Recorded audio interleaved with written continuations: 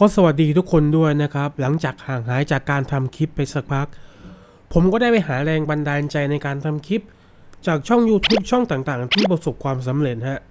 ผมก็ได้นั่งคิด นอนคิดแล้วก็นอนคิด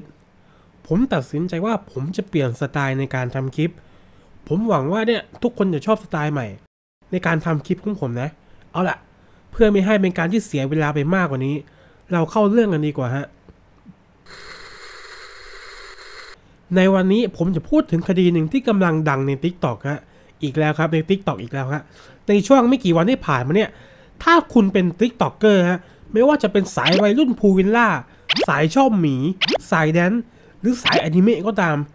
ผมคิดว่าพวกคุณน่าจะเห็นคลิปบางส่วนที่หน้า feed ของคุณเนี่ยเกี่ยวข้องกับคดีของสาวน้อยคนหนึ่งชาวอินโดนีเซีย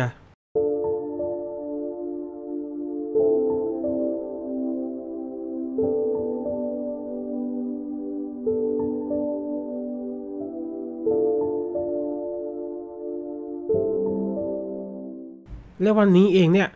เราจะมาพูดถึงคดีนี้กันครับ คดีดังจาก TikTok ดวีฟาริซาลิสตาลีสาวน้อย TikToker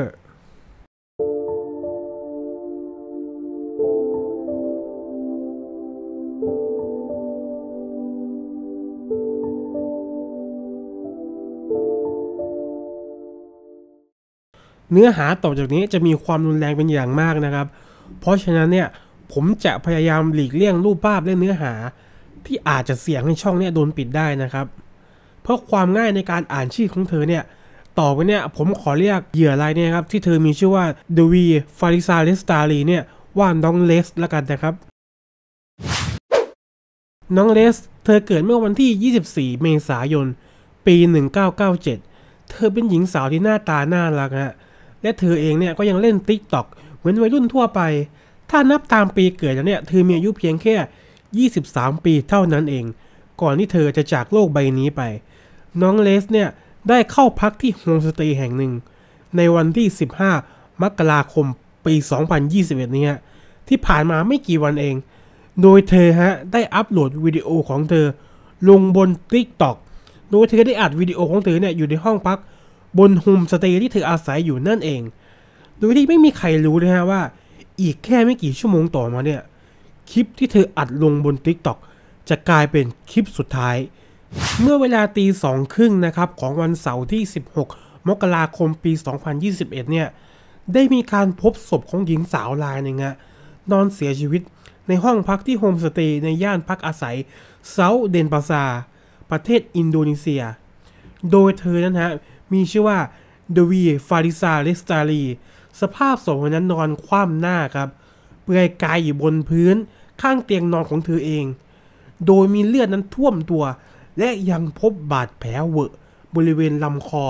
พร้อมร่องรอยการต่อสู้ จากการตรวจสอบสภาพร่างกายของเธอเบื้องต้นนะฮะ พบว่าเธอเนี่ยมีบาดแผลรุนแรงมากฮะที่บริเวณลำคอเธอเนี่ยมีบาดแผลที่มีบาดแผล ถูกเฉือนที่ลำคอเป็นจำนวนมากกว่า 3 แผล ซึ่งมันเป็นแผลขนาดใหญ่มากๆฮะคือผมไม่อยากเอาภาพมาลงให้ทุกคนได้ดูฮะโดยภาพมันมีความน่ากลัวและสยดสยองมากๆ ผมไม่แนะนำให้เพื่อนๆ หรือทุกคนเนี่ยหาภาพมาดูนะฮะ โดยทางตำรวจเองเนี่ยยังพบมีดที่ใช้ก่อเหตุภายในห้องของเธออีกด้วย เจ้าหน้าที่ตำรวจเองเนี่ยได้พบกับพยานรายหนึ่งฮะ พยานคนนั้นคือเพื่อนของเธอฮะ เพื่อนของน้องเลสเนี่ย เธอมีชื่อว่าดีอันดีอันตีซึ่งเป็นเพื่อนของน้องเลส เธอได้กล่าวว่าช่วงเวลาประมาณตีหนึ่งยี่สิบเนี่ยก่อนเกิดเหตุเนี่ยประมาณชั่วโมงกว่าเนี่ย เธอได้กินข้าวกับน้องเลสในห้องของเธอเอง หลังจากกินข้าวกันเสร็จเนี่ยน้องเลสเนี่ยเธอก็ขอตัวกลับไปห้องพัก โดยห้องพักทั้งคู่เนี่ยจะอยู่ห้องข้างๆกันนะฮะห้องติดกันนั่นเอง และเมื่อแยกย้ายกันเนี่ยอาจจะด้วยความอิ่มฮะเพื่อนของน้องเลสเนี่ย ดีอันตีเนี่ย เวลาประมาณตีหนึ่งสี่สิบเนี่ย เธอก็หลับไป แล้วเวลาเวลาประมาณตีหนึ่งสี่สิบเนี่ย เธอได้ยินเสียงกรีดร้องฮะ เสียงกรีดร้องได้มีเสียงดัง คล้ายคนต่อสู้กันที่ห้องของน้องเลส ในตอนนั้นเองอะเธอคิดแน่ๆเลยว่ามันต้องมีเหตุการณ์อะไรที่ผิดปกติเกิดขึ้นแน่ๆ เธอจึงได้ส่งแชทพิมพ์ข้อความเนี่ยผ่านโปรแกรม WhatsApp เนี่ย เข้าไปโทรศัพท์ของน้องเลส แต่ในขณะนั้นเองเนี่ยน้องเลสเนี่ยก็ไม่มีการตอบกลับข้อความของเธอเลยดิอันตีเนี่ยจึงพยายามโทรหาครับ แต่ก็ไม่เป็นผลไม่มีการตอบรับ ไม่มีการส่งข้อความกลับ ไม่มีการรับสายจากน้องเลสดิอันตีเนี่ยเกิดความรู้สึกว่าเฮ้ยไม่ใช่ละ เธอกลัวเธอรู้สึกว่ามันไม่ใช่แน่ๆมันต้องมีเหตุการณ์อะไรเกิดขึ้นที่ไม่ดีกับเพื่อนของเธอ เธอจึงได้ไปเรียกรอปภฮะให้ขึ้นมาเคาะประตู เพื่อดูเหตุการณ์ว่าเกิดอะไรขึ้นกันแน่กับน้องเลส แต่เมื่อรปภขึ้นมาเคาะห้องประตูของน้องเลสเนี่ยกลับไม่มีการตอบกลับจากน้องเลสเลย เนื่องจากประตูเองเนี่ยก็ถูกล็อกจากข้างในทำให้เนี่ยสุดท้ายต้องไปเรียกผู้จัดการโฮมสเตย์ขึ้นมาช่วย เพื่อให้เขาไขกุญแจเข้าไปข้างในของน้องเลสเข้าไปยังห้องของน้องเลส เพราะผู้จัดการเนี่ยโฮมสเตย์เนี่ยจะมีกุญแจอยู่กับตัว ทั้ง 3 คนเนี่ยดีอันตีเพื่อนของน้องเลสรปภและผู้จัดการโฮมสเตย์ก็ได้เข้าไปยังห้องของน้องเลสได้ และเขาเจอครับ เขาเจอรอยเลือดจำนวนมากบนพื้น บนพื้นเนี่ยยังมีเลือดที่เป็นรอยเท้า โดยเขาคิดว่ามันอาจจะเป็นรอยเท้าของใครสักคน สุดท้าย เขาเจอครับ ไม่ใช่ใครอื่นครับ รอยเท้านั้นคือน้องเลสนั่นเอง น้องเลสเนี่ยได้นอน ในสภาพเปลือยกายนอนคว่ำหน้า นอนจมกองเลือดอยู่ข้างเตียง อยู่บนพื้นนะอยู่ข้างเตียงเนี่ยและมีแผลบริเวณลำคอ พวกเขาไม่รอช้าฮะ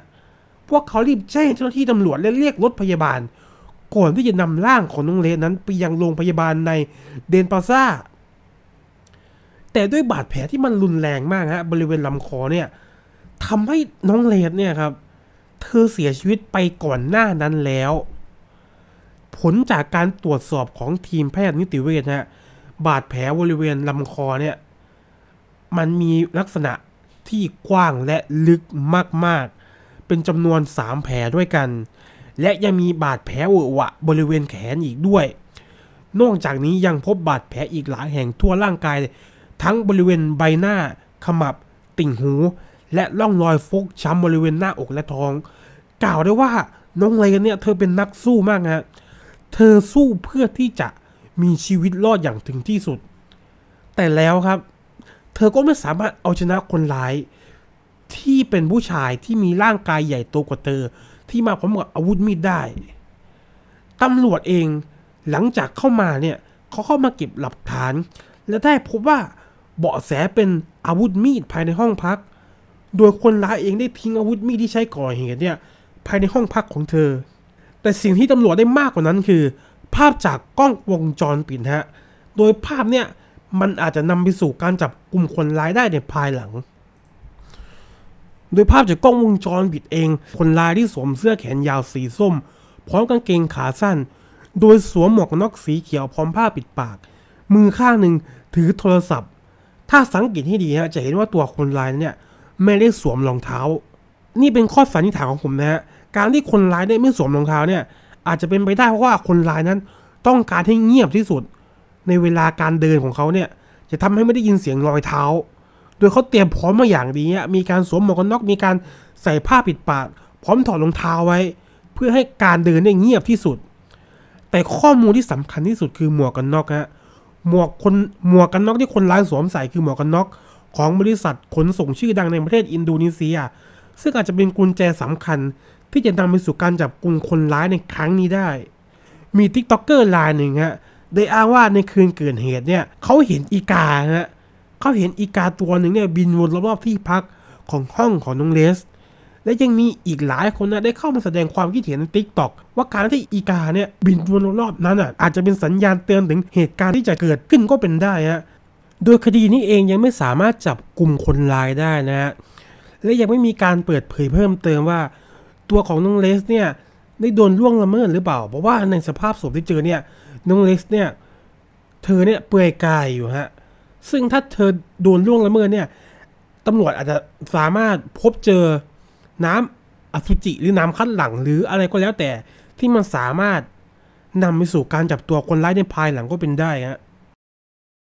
เข้าสู่ช่วงวิเคราะห์คดีฮะเรามาวิเคราะห์คดีนี้กันดีกว่าฮะภาพจากกล้องวงจรปิดเนี่ยจะเห็นได้ว่าตัวคนร้ายเนี่ยถือโทรศัพท์อยู่ด้านขวามือ มันเป็นไปได้ไหมครับว่า ที่ตัวคนร้ายเนี่ยจะรู้จักกับน้องเลสเพราะห้องพักของเธอเนี่ย ประตูจะล็อกจากด้านใน ดังนั้นแล้วถ้าเธอไม่รู้จักกับคนร้าย เธอคงไม่เปิดประตูออกมาให้คนร้ายเนี่ยเข้าไปข้างใน แต่คนร้ายเนี่ยก็ใส่หมวกกันน็อกของบริษัทขนส่งชื่อดังฮะแต่ก็จะเป็นไปได้ไหมว่าน้องเลสเนี่ยอาจจะสั่งอาหาร หรือของอะไรก็แล้วแต่มาหรือเปล่า แต่ถ้ามองอีกมุมก็คือน้องเลสเนี่ยเพิ่งกินข้าวเสร็จ มันก็ไม่น่าจะเป็นไปได้นะที่เธอจะสั่งข้าวมากินอีกรอบ เพราะเธอเนี่ยเพิ่งกินข้าวเสร็จกับเพื่อน ดังนั้นเนี่ยที่ผมคิดเนี่ยคือ น้องเลสกับคนร้ายอาจจะรู้จักกัน และเมื่อเธอกลับมาห้องเนี่ยก็ได้มีการพูดคุยกับคนร้ายทำให้คนร้ายเนี่ยคุยกับน้องเลสอยู่ ก็เลยถือโทรศัพท์นั้นน่ะอยู่กับตัว เหมือนว่าคนร้ายเนี่ยกำลังใช้การมือถืออยู่ ซึ่งอาจจะพูดคุยกันผ่าน WhatsApp อยู่ก็เป็นได้ นี่ก็เป็นการวิเคราะห์ส่วนตัวของผมนะฮะโดยเพื่อนๆเนี่ยคิดเห็นยังไงกันบ้างครับว่า คนร้ายเนี่ยน่าจะเป็นใครฮะจะเป็นคนใกล้ตัวหรือว่าเป็น คนที่ไม่รู้จักหรือเปล่า แต่ก็อย่าลืมนะฮะว่าประตูข้างในเนี่ยมันล็อกอยู่ ถ้าเธอไม่รู้จักหรือแบบ ไม่มีอะไรเธอไม่น่าจะเปิดให้คนนี้เข้ามาได้ก็เป็นได้ไหมฮะ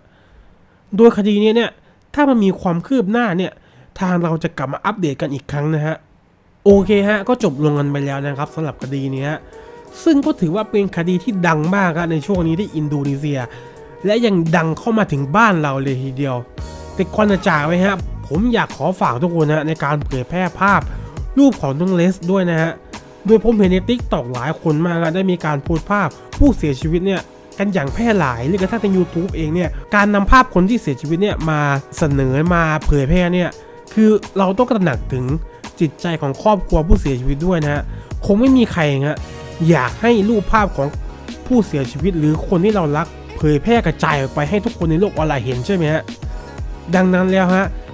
ผมว่าเรามารวมใจร่วมใจเนี่ยให้ตำรวจสามารถจับคนร้ายที่ทำร้ายน้องเลสเนี่ยมาดำเนินคดีกันดีกว่าฮะโอเคครับผมสำหรับใครนะที่มีคดีที่น่าสนใจ